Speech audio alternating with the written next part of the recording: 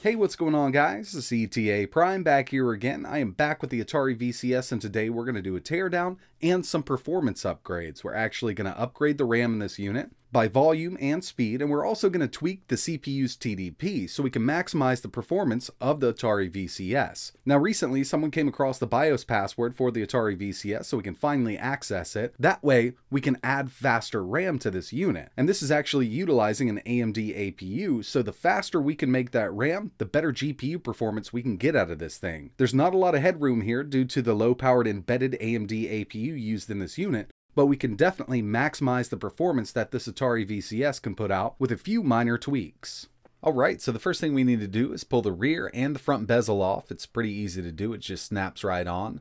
I've already pulled the rubber feet off so I can access the screws on the bottom. We're going to go ahead and get these out, and then we can pull the top of the unit right off of this thing.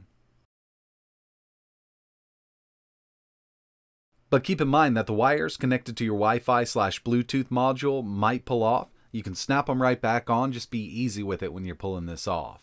As you can see, they're attached to the top cover and they're pretty short. So here's the Wi-Fi module.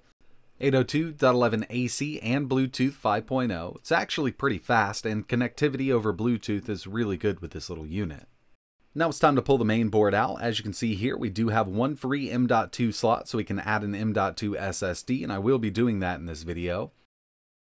We also have our cooling system here. It's a ducted vent, and this thing does get pretty loud when it's ramped up all the way. Now I'm going to go ahead and remove this metal shield. There's three screws here. I just need to get access to the underside of this thing.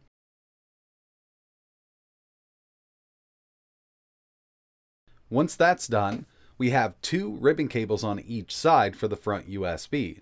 I'm going to remove these. You don't want to pull this thing out with them still attached. You could break them and lose your front USB ports. Now that I have all of that out of the way, I just need to remove the remaining motherboard screws or the main board screws so I can go ahead and get this out of here. The RAM is located on the bottom side of this board and that's really what we want to upgrade here.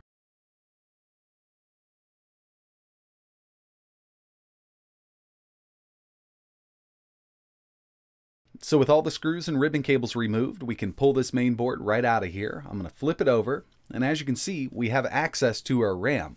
We have two slots here, and I highly recommend running this in dual channel.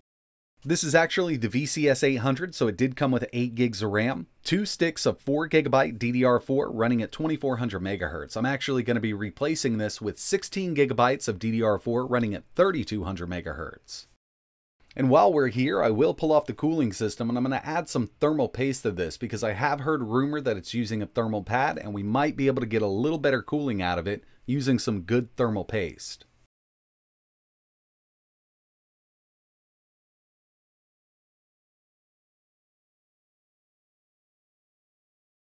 I'm going to carefully remove the whole cooling system here. Everything's attached, the fan, the heatsink, and the duct itself and it definitely looks like they were using some type of thermal pad. So by cleaning all of this up and adding some good thermal paste, there's a chance we could get better thermals out of this whole unit.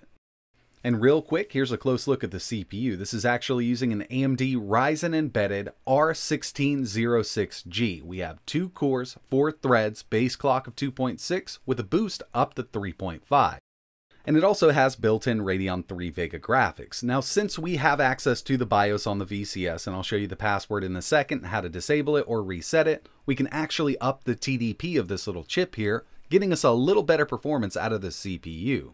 And while we're in there, since we're going to throw faster RAM in this unit, we do want to up that RAM speed in the BIOS because if you just throw 3200 MHz in it like it sits right now, it'll only run at 2400 MHz, giving you the same performance. I'm going to throw some Noctua NTH1 thermal paste on this unit and reassemble the whole cooling system. Then we'll turn this thing over and upgrade the RAM. Alright, so I've got it reassembled, just threw a little bit of paste on there, everything looks like it's good to go. It's time to upgrade the RAM. So what we have in the Atari VCS 800 is 8 gigabytes of DDR4 running at 2400 megahertz. When it comes to these built-in Radeon Vega graphics, it's dependent on system memory, so the faster it is, the better performance we can get out of that GPU. So with this one here, I'm actually going to be upgrading from 2400 megahertz to 3200 megahertz RAM. I'm also going to be upgrading the size, giving this 16 gigs of RAM, but if you just want to keep it cheap, you can still go with 8, just make sure it is faster RAM than 2400 megahertz. If you've ever replaced laptop RAM, it's the same exact thing. We're using laptop RAM in this unit because it has those SODIMM slots. I will leave links in the description where you can get faster RAM. You can pick it up on Amazon, Newegg, or even eBay. So now I've upgraded the RAM, capacity, and speed. I've also added a little thermal paste to that heatsink there. Hopefully we get better cooling. Now I'm going to add an M.2 SSD so I can run Windows on it. So this is a non-NVMe M.2 SSD. It did come with this heatsink. You don't necessarily need it, but I'm going to leave it on there since it already came with it. I'm actually just going to be going with a 256 gigabyte M.2 here because that's the one I had laying around and it'll fit right in this unit. Now, one thing to note, when you're adding an SSD to the VCS, it does not come with a screw, so you will have to source one yourself, but this thing should pop right in the M.2 slot, and the VCS will automatically detect the SSD. Now you can install Windows, Linux, or basically any other operating system as long as it supports an x86 CPU.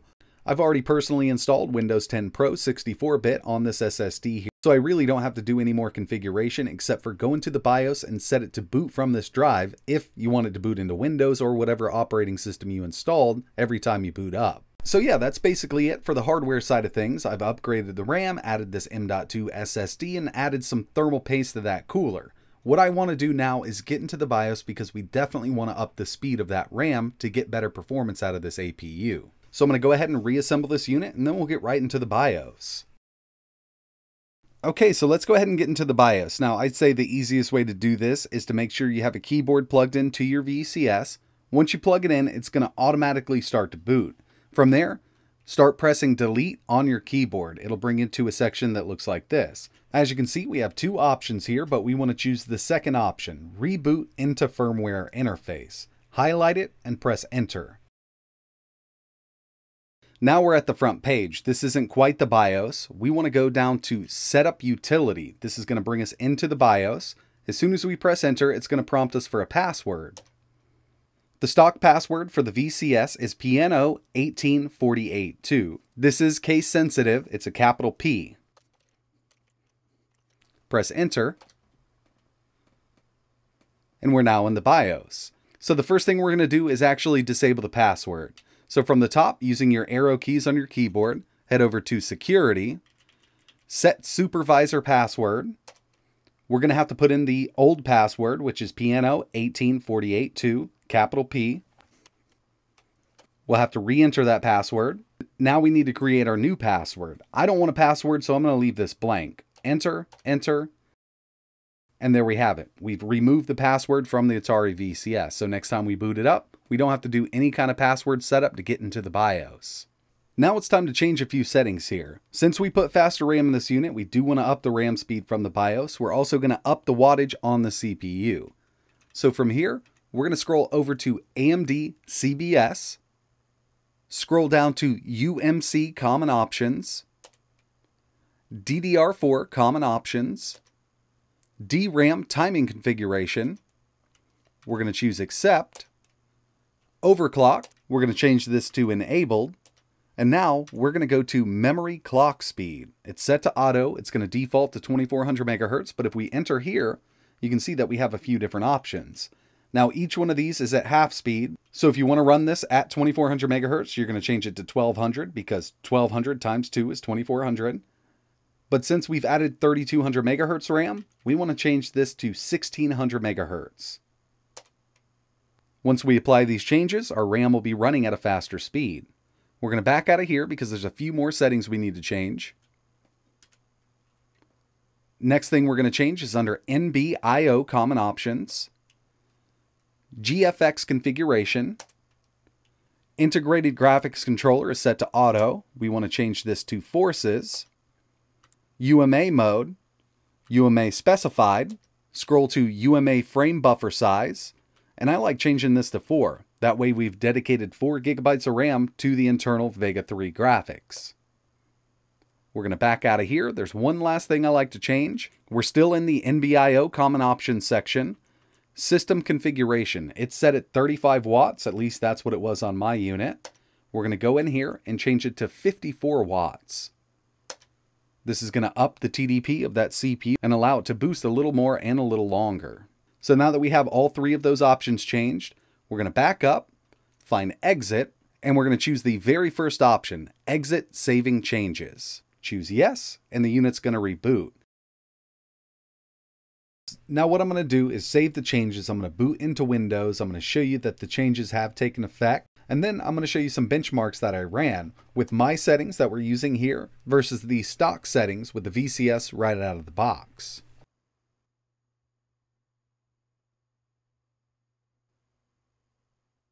All right, so here it is. I've got the task manager up and running. As you can see, we have that Ryzen embedded R1606G. Our memory is now running at 3200 megahertz instead of 2400 megahertz. And if we head over here to the GPU section, you can see that we now have a dedicated 4 gigabytes of RAM for the GPU itself. We can also check that out in CPU-Z, going to memory. So you can see we're running close to 1600 megahertz, so we times that by 2, that's 3200. Dual channel, and over here under GPU-Z, you can see that we have that dedicated 4 gigs of RAM for the GPU.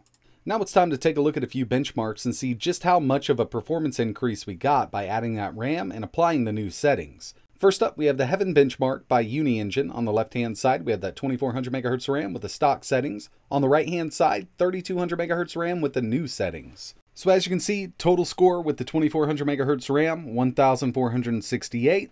With the upgraded RAM and the new settings, we scored a 1640. Next up, we have 3D Mark Fire Strike. With the upgraded RAM and the new settings, 1440. Stock settings, stock RAM, 1256. I also went through and ran 3D Mark Night Raid. Total score with the upgraded RAM and the new settings, 5,660, and with the old setup, 4,890. And like I mentioned at the beginning of this video, we don't have much headroom because this is a low-end APU, but I was actually pretty impressed with the score increase of PC Mark 10. On the old setup with the old RAM and the stock settings, 2049. With this upgraded setup, 3289, which is actually a pretty significant increase when it comes to PC Mark 10 and these low-end PCs. So in the end, we definitely got a nice little bump in GPU and CPU performance by upping that TDP and adding that faster RAM, but this isn't going to make it a supercomputer. I have to stress this again. This is a low-end embedded dual-core AMD APU, and even with what we've done today, we're not going to be running AAA games at 1080p on this machine, but it is a nice little bump if this is what you're working with. So that's going to wrap it up for this video. Really appreciate you watching. If there's anything else you want to see running on the VCS, just let me know in the comments below. I have made two other videos showing off some PC games and emulation. If you're interested in checking those out, I'll leave links in the description. But that's it for this one. And like always, thanks for watching.